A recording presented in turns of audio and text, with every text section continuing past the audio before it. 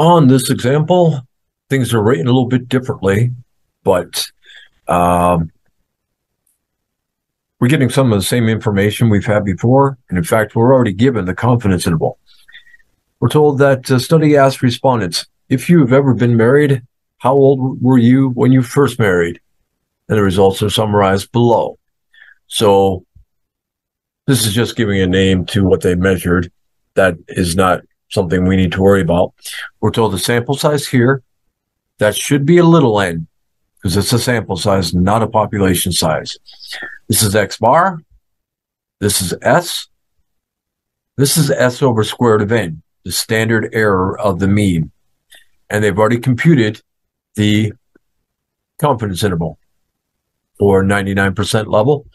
Uh, by the way, the standard error of the mean, where we took sigma, uh, S over square root of N, that has been rounded. And so this, I'm sure, has also been rounded. Use the summary to determine the point estimate. So that's the mean that they printed. Uh, 28.810. No work, just reading the table. The margin of error. Okay, that's going to take some work. Because this is a large sample, there would be 26,639 degrees of freedom, but that is not on the table. So, uh, let's see here. There are two possible approaches. One is more conservative to say, oh, I'm looking at a 99% confidence interval. Um, 100 minus 99 is 1%. You take half of that, half a percent is 0.005. Well, you could go with the larger t value in that column. Uh, since they don't have degrees of freedom for 26,639, but something lower than that, the closest thing you could get that would be lower than that number of degrees of freedom for that column, we would have 2.05, sorry, 0.005. We would have the 2.581. However, this textbook author may be saying that sample is so large that the sampling distribution of X bar is so close to normally distributed, he may want us to use the Z score here. So I'm going to try both. I'll start with the 2.581.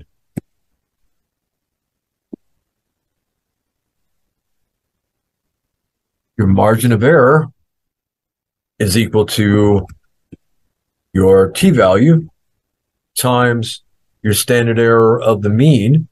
And we were given that that was 4.828.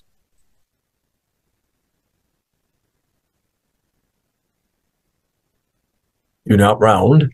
So 12.461. 068. And they don't like that. So let's try the using the Z score at the bottom. Such a large sample, assuming it's super close to normal. It's a very close value, 12.436. 928.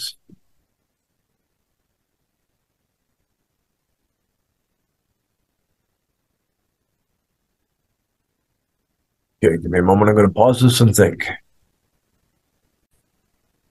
Okay, I'm going to try one other thing.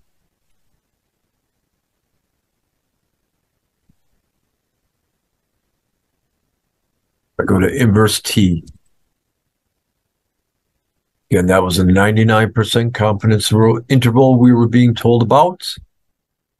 So alpha over 2 was 0.005. And since the sample size was 26,640, we have 26,639 degrees of freedom. Take the absolute value of that. So I'm going to multiply by negative one. Uh, let's see here. And I'm going to multiply that by the standard error of 4.828. Oh. Okay. What was I putting in? All right. That's where tiredness comes in. I was putting in the standard deviation instead of the standard error. So I could put the point 030, or let's see how exact we can be. Uh, point.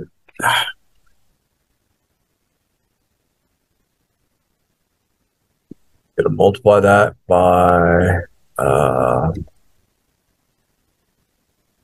standard deviation over the sample size. Again, you only use n minus 1 for degrees of freedom, telling you either what to put in for degrees of freedom on inverse normal or um, what row to look in on table 7. But wherever you see n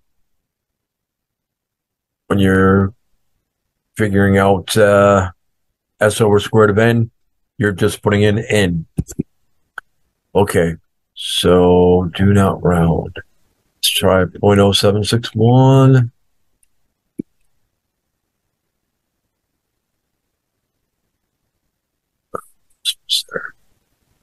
Because I don't know if they wanted the table with from a thousand degrees of freedom or using the z score. If there's no dash T here suggesting using technology, oh, I missed a zero after the decimal point. So I'm really not sure, but whatever I come up with should be super close anyway. 98837. 0, 7, 6, 1, 98837.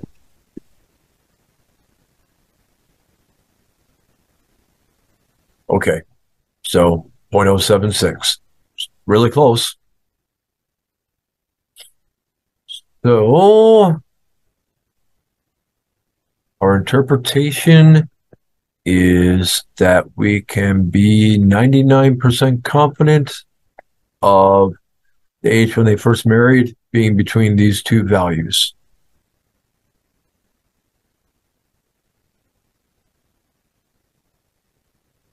Verify the results.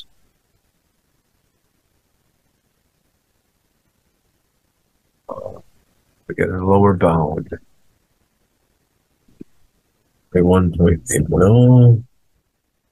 Lower bound, we're going to have subtraction.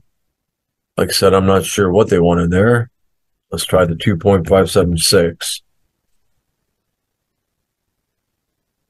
From the z-score at the bottom of the 0.005 column.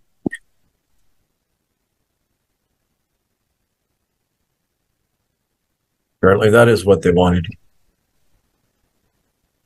So I'll bet I would have come up with exactly what they did um, had I not used inverse T. Plus, no, everything else is staying the same.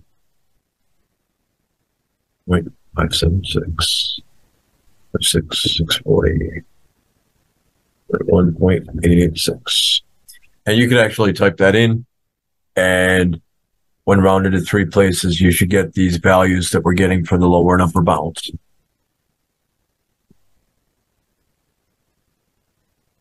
Why is the margin of error so small? Because it's a huge sample.